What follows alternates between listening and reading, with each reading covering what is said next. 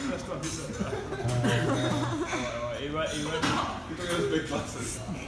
Happy birthday to you.